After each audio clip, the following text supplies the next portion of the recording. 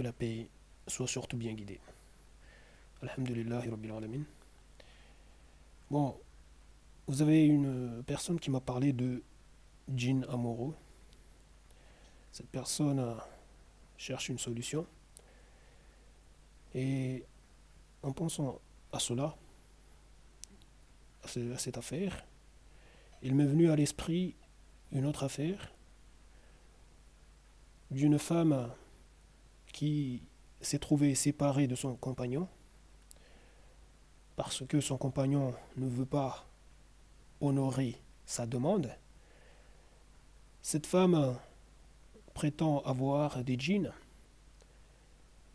et qu'il faut organiser euh, sa cérémonie.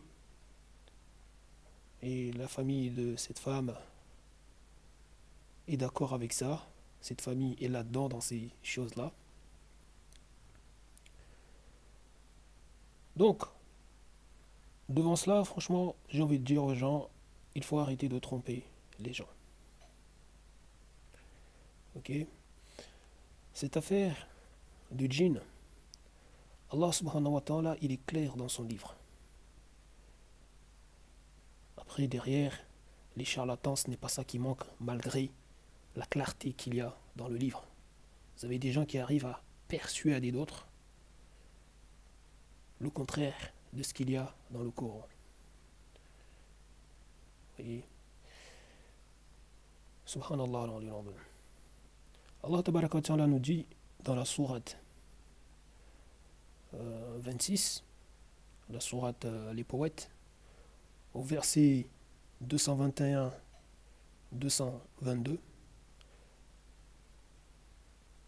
la chose suivante. Vous voudrez-vous, je crois que c'est ça, hein, euh, que je vous informe sur qui descendent les djinns, en fait euh, les diables? Ils descendent sur tout calomniateur pécheur. Là on va dire que je l'ai dit de manière brève. Je vous invite à, lire le verset. Mais en tout cas, la chose est ainsi. Allah pose la question, demande si euh, on veut savoir sur qui descendent les diables. Et il répond en disant qu'ils descendent sur tout calomniateur, pécheur. En fait, devant ce verset, une personne qui réfléchit un temps soit peu, en voyant cela, que cette personne se dit avoir des djinns qui, qui la contrôlent, etc. Là, ce qu'elle a à faire, c'est plutôt même de se remettre en question que de chercher je ne sais quel sorcier, sorcière, je ne sais quel raki pour régler son affaire. Là plutôt en fait, dans le moment où cette personne est en pleine conscience de ses facultés intellectuelles, psychiques, cette personne prend conscience qu'elle doit se remettre en question. Elle doit se remettre en question et non chercher à satisfaire je ne sais quel besoin, oui, je ne sais quel waswas.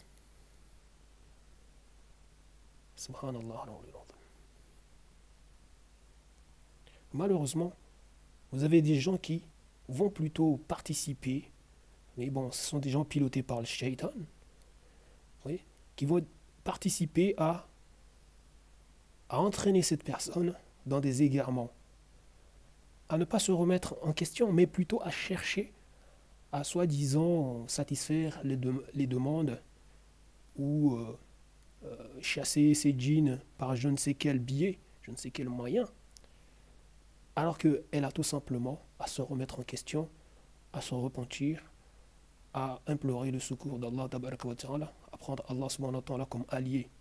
voyez? Allah subhanahu s'interpose entre l'homme et son cœur. Il ne faut pas l'oublier. Donc, quand vous venez là à suivre les commandements d'Allah, vous les suivez, vous les mettez en pratique dans votre tête, dans votre vie au quotidien, voyez, en apparent et caché, tout ça, vous ne pouvez qu'être préservé de l'impact néfaste des djinns par rapport à leur suggestion, leur waswas. Parce qu'il ne faut pas oublier que, comme Allah le rappelle dans son livre, que justement le, le jour des comptes, lorsque les gens seront jetés en enfer pour ceux qui y seront, le diable dira qu'il n'avait pas de pouvoir sur les gens. Il n'avait pas de pouvoir sur les gens. Il a juste appelé les gens et les gens ont répondu. Voyez? C'est-à-dire que le diable est juste sur les insufflations, sur les waswas. Voyez Toutes les pensées qui sont dans vos têtes, dans nos têtes, il y a une partie qui est des diables. Mais comme on n'a pas la capacité en fait de...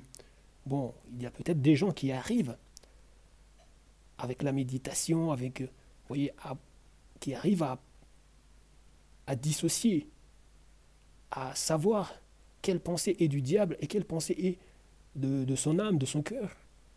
Voyez? Donc, euh, etc. Donc, les diables, en fait, jouent tout simplement sur les, pensées. Ça te met des idées et toi tu vas les suivre. Oui, c'est comme des gens qui vont tuer des gens euh, et disent qu'ils ont entendu des voix dans leur tête qui les ont poussés à aller faire ça. C'est-à-dire ces gens ont répondu à l'appel du diable. Alors qu'ils ils pouvaient parfaitement bien renoncer. Oui. Donc, il n'y a pas à venir là, tromper les gens, inviter les gens à aller je ne sais où, alors que les choses sont claires dans le livre d'Allah. Donc les gens même qui viennent à parler de possession, qu'il y a des gens qui seraient possédés, non, vous trompez les gens. C'est juste que ces personnes se laissent entraîner, se laissent exciter par le diable. Le diable est là juste avec sa voix. Oui. Euh, et ces gens se laissent exciter, emportés par le diable. C'est tout.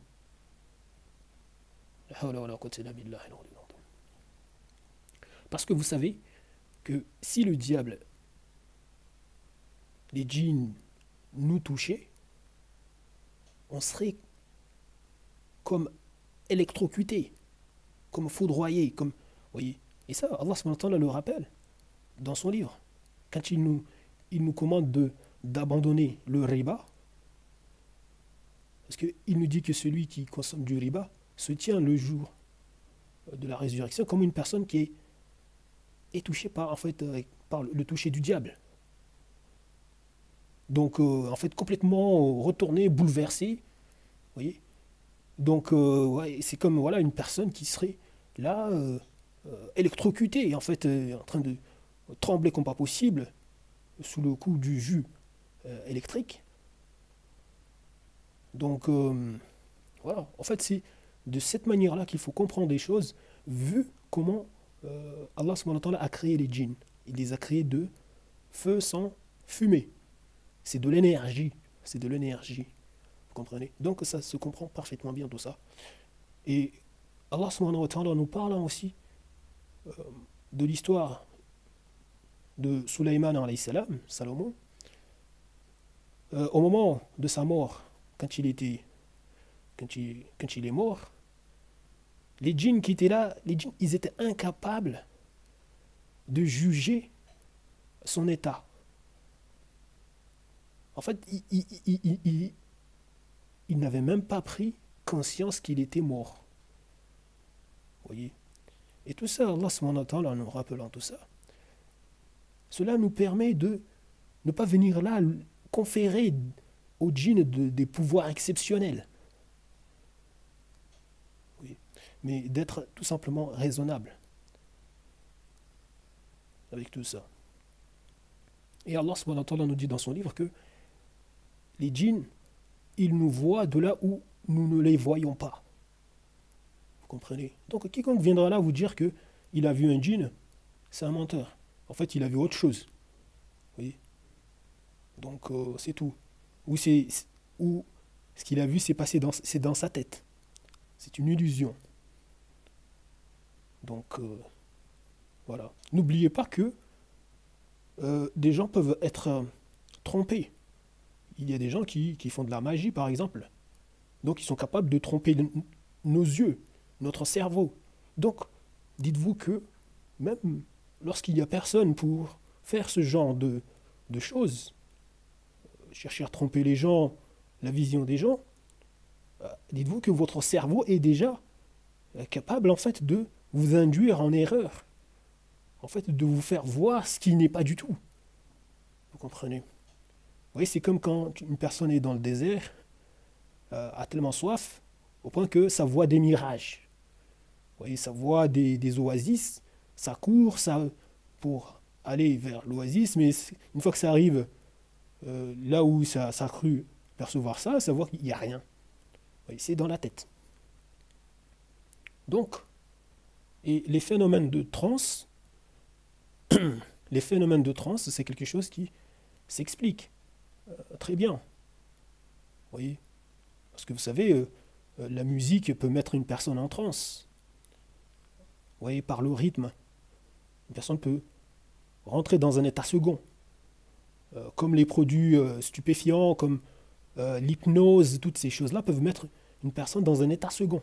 Donc il ne faut pas être surpris par tout ça. Une personne peut passer à un état second et se mettre à parler, euh, et vous, vous allez croire que c'est une autre personne qui est là, alors que c'est la même personne. Mais c'est, c'est juste en fait euh, ce que la personne va exprimer, c'est ce que la personne a amassé dans sa tête. Vous comprenez? C'est ce que la personne. C'est comme pour les rêves. Les rêves, beaucoup de rêves sont le fruit de vos expériences au quotidien, ce que vous regardez à la télé, dehors, etc., ce que vous imaginez, etc. Ce que vous lisez, et tout.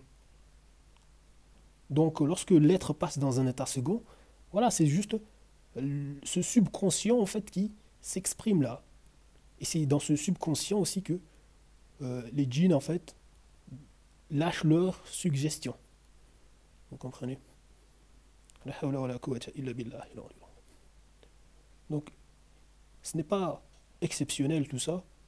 Il n'y a pas à être impressionné, il n'y a, pas, a pas à être, euh, avoir peur de tout ça. Donc, euh, voilà. Et vous avez des gens qui trompent d'autres, qui sont là. Vous voyez, à jouer avec l'intelligence des gens et tout, etc. Et ça trouve des personnes qui sont déjà malades un peu dans leur tête, qui se laissent emporter par les waswas, etc. Donc euh, voilà.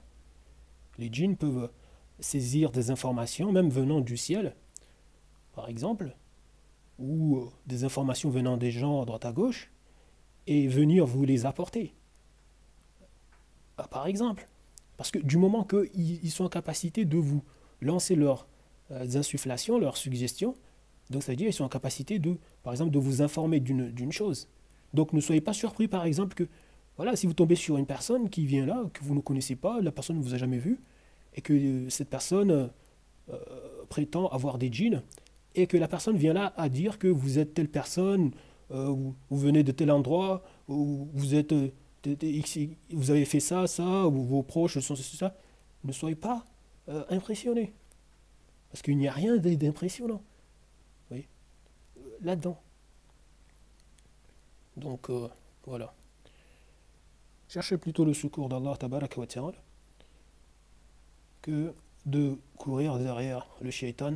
Parce que lorsque vous courez derrière le shaitan, derrière Iblis par rapport à ces sujets-là, en fait, vous venez là, euh, soi-disant, à dire que vous, avez, vous êtes possédé par un djinn. Là, déjà, vous donnez de la force à ça. Vous donnez de la force à ça, vous donnez de la force voilà, au, au, au shaitan et vous lui donnez de la force sur vous. Vous lui donnez une domination sur vous. Donc, euh, voilà. En fait, c'est vous-même qui, ouvrez la voie, qui, vous, euh, qui venez là, en fait, vous condamner, vous enchaîner. Vous, c'est vous-même. C'est vous-même. Voilà. Je vous remercie du temps que vous avez pris pour suivre ça et je vous dis salam.